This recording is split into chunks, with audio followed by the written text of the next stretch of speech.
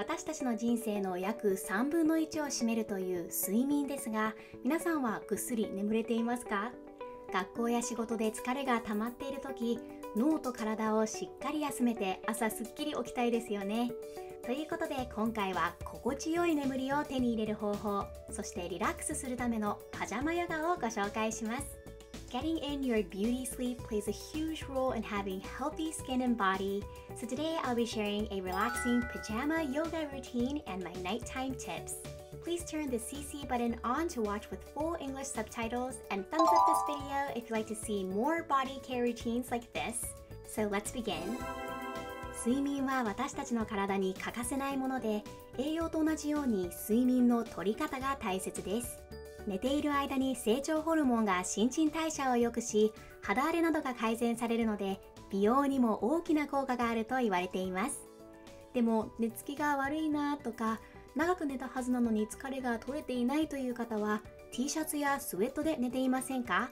私も以前は T シャツやスウェットを着て寝ていたんですが胴回りや首回りがタイトなものを着ていると圧迫されて血流の流れが悪くなってしまいます。ある程度の年齢になるとパジャマを着なくなると言われていますがやっぱり寝る時には寝る時に適して作られたパジャマを着ることが大切なんだそうです。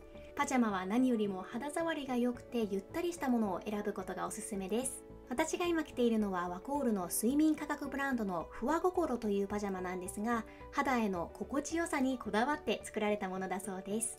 こんな感じですごくふわふわで滑らかです。肌を優しく包んでくれるような感覚があるので自然と眠りに誘ってくれます。私は普段寝る1時間前までに入浴を済ませパジャマに着替えてからストレッチやヨガを行っています。今回はより良い睡眠のための入眠儀式としてパジャマヨガをご紹介したいと思います。香りのいいアロマを焚いたりリラックスできる音楽を流すとより効果的です。このように数枚バスタオルやブランケットを丸め両端を結んでヨガ枕として使います。誰でも簡単にできるルーティンなのでぜひトライしてみてください。まずはボディーローリングサイドを行います。正座から横座りになり右腕を伸ばしながら脇腹のウエスト部分がヨガ枕に乗るように横向きに寝ます。右腕の手のひらは上向きに下の膝は軽く曲げた状態で上の足を伸ばします。ポジションが整ったら左腕を前につきます。吸う息でゆっくりと腰の方へと体重をかけていきます。今度は息を吐きながらヨガ枕がお腹に当たるように骨盤を前に倒します。吸いながら後ろへ体をくーっと伸ばします。そして息を吐きながら前へ。あまり早く動かないようにゆっくりとした呼吸に体の動きを合わせていきます。息を吸って後ろへ。この時後ろへ倒れすぎないように注意してください。同じく前へ。これを5回から10回程度行うと脇腹がよくほぐれます。腰回りお腹周りの筋肉を緩め全身がポカポカになるので心地よい眠りへ導いてくれます。では元の体勢に戻って今度は体側を伸ばしていきます。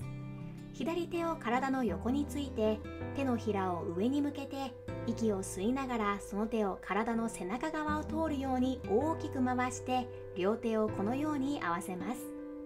合わさった手はピンと伸ばさなくても大丈夫です。肩が柔らかい人は手を返してこのように手のひらを合わせるとさらによく伸びます。どちらでも結構です。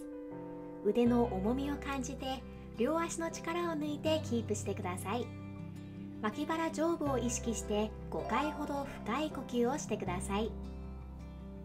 吸って1 2 3 4吐いて2 2 3 4もう一度大きく吸って2 3 4そして吐いて2 3 4ご自分のペースで左手を前についてゆっくりとお腹をヨガ枕に当てていきます。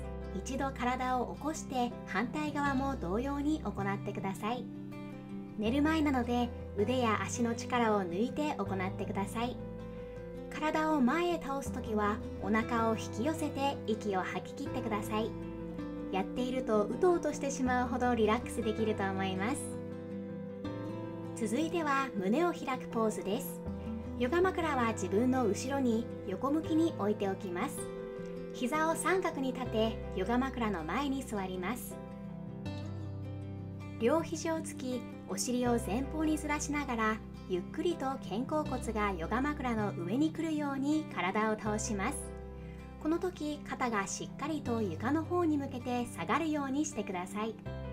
両腕は横に開き腰が大丈夫であれば片足ずつゆっくりと伸ばしていきます。足は骨盤幅にしておきましょう。胸が開いたところに息を送り込んでいきます。吸って1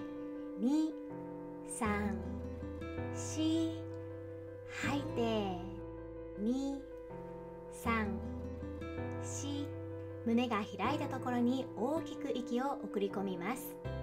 一呼吸ごとに力を抜きながら胸をさらに開くように行ってください。腕のポジションは真横に広げていてもいいですし両手を頭の後ろで組んだりしても OK です。顎先を天井に向けて胸を開き呼吸を続けながらキープしてください。また注意点なんですけれどもお尻を床につけた状態でお腹を引き上げるようにすると効果的です。深く5回ほど呼吸をしましょう。ポーズを解くときは両手で頭を支えながら顎を引きます。お腹を覗き込むようにして両手をついてサポートしながら体を起こします。背中背骨を大きく反っていましたので丸めていきます。背中や首の後ろをリラックスさせながらここで3呼吸ほどとってください。